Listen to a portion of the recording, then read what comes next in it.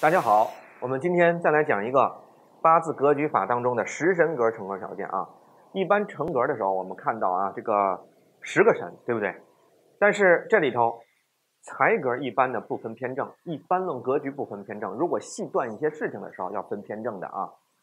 那么食神格和伤官格它是两个格局，哎，食神呢是属于喜的、比较好的吉神，而这个伤官呢它偏凶的。所以说呢，这时候我们要分开讲啊。你看食神格，那后面我会讲到伤官格，但是伤官格和食神格是属于比较复杂的两个格局啊，它不像印寿格、财格那么单纯。哎，我们来看一下食神格成格条件。第一，食神当令，这是必须的啊，一定什么成格什么得当令，对不对？从月令透出嘛。好，只许一位，看好一位才叫叫食神格。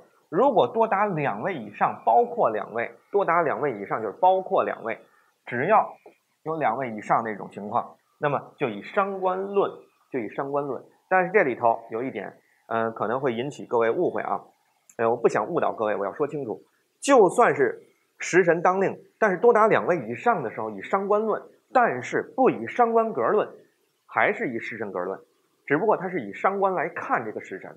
好，第二。命局没有消神，或虽有消神，但有制约。就是说，食神格嘛，最怕消神，因为消印夺食，对不对？消印来克夺这个食神，那么就使得它破格了。那么，如果这个病神，也就是消神出现，我们再想办法找个药神，那么如果出现财来制消，那么是不是又成格了呢？哎，它就又成格了。这就是属于先破后成啊，先破后成。第三。日主有根气，最宜有强根。这个日主当然就是指的是日元啊，就是日元就是元辰。那么这个字要有根气，它得有根或有气。它最好的就是有强根，强根呢往往就是见禄之根，就是禄根或者地旺之根，也就是所谓的临官地旺啊，也就是所谓的禄和刃，这是它最强旺的根。其次呢，就是长生根。再往后呢，就是呃印生的根，就是印根。但印根其实往往它不算根，哎，它算源头啊，有源头来生它。但是还有库根和余气根也算根吧啊。但是它最宜强根嘛，强根就是见禄地旺这样的根啊，强根。第四，食神生财格，不能有比劫直接克财。你想，它食神格，食神透财经的，食神生财，对吧？成立非常好。但是食神生财格呢，依然是怕比劫来夺，比劫一夺了财星，它就构不成食神生财格。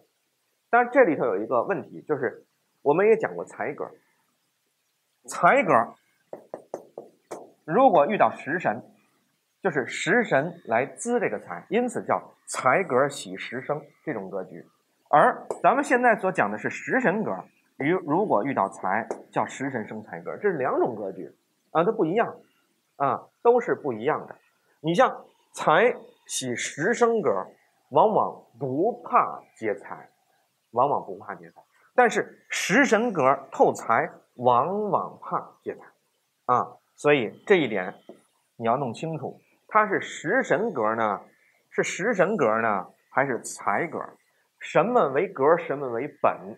财格为本的话，透出食神，哎，他不怕劫财；但是如果食神格为本的话，他透出财星，再透出劫财，他特别怕劫财。所以这一点要弄清楚。因此很多人就说：“哎呀，不对呀，这明明都怕劫财嘛，财就怕劫财嘛。”是，但他什么格啊？对吧？如果真的是财格食神。啊，财格喜食神来生，他不一定怕这个劫财，但是食神格生财，他肯定是怕劫财的啊。所以食神生财格不能有比劫直接克财，这句话要重点，它主要是与财格食神生有一个区别。好，食神制煞格不能制化两利而互爱，食神制煞，食神来制煞，那么食神旺一点，煞弱一点，非常好，对不对？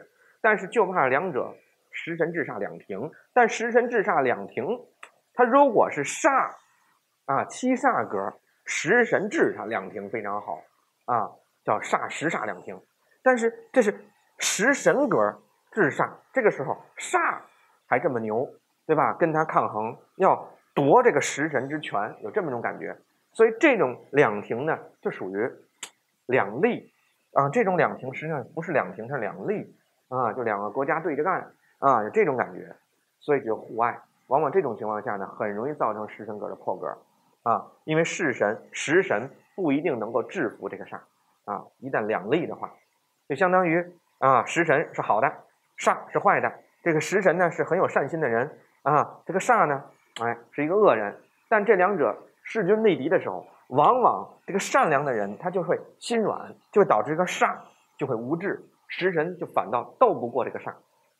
但如果是煞格，食神跟煞两立，那么不怕，那么食神是有力量制煞的啊。好，再看这个，除食神制煞格外，不能杂官煞，除非有字能清除。就食神制煞，他也怕官煞混杂，就讲的是这意思。因此要清除一下。